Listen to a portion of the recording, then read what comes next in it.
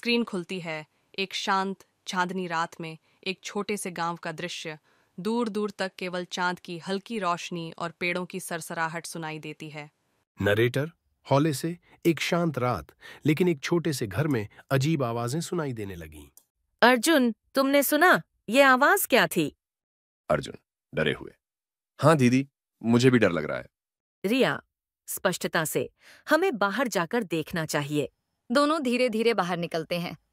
जैसे ही वे बगीचे में कदम रखते हैं अचानक बगल के पेड़ के नीचे एक चमकदार पत्थर चमकने लगता है। रिया चलो इसे देखें। जैसे ही रिया पत्थर को छूती है अचानक एक गहरा सूरजमुखी फूल उगाता है। फूल से एक हल्की सी चमक निकलती है। अर्जुन ये फूल तो कभी भी यहाँ नहीं था। फूल की चमक के साथ एक छोटा सा कागज़ गिरता है। रिया कागज़ को खोलती है और उसमें लिखा होता है सच्चाई खोजो रहस्य सुलझाओ। तभी गाँव के बुज़ुर्ग दादाजी आते हैं। दादाजी वह फूल जादुई है।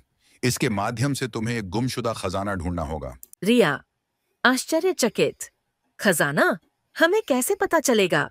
दादाजी मुस्कुराते हुए। फूल की चमक तुम्हें रास्ता दिखाएगी।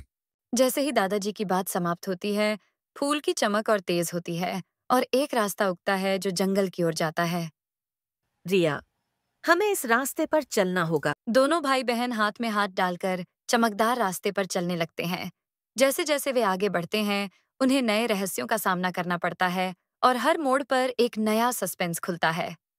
नरेटर रहस्यमय ढंग से और इस तरह रिया और अर्जुन ने उस रात की रहस्यमय आवाज़ के पीछे छुपे गुमशुदा खजाने की खोज में अपना सफ़र शुरू किया।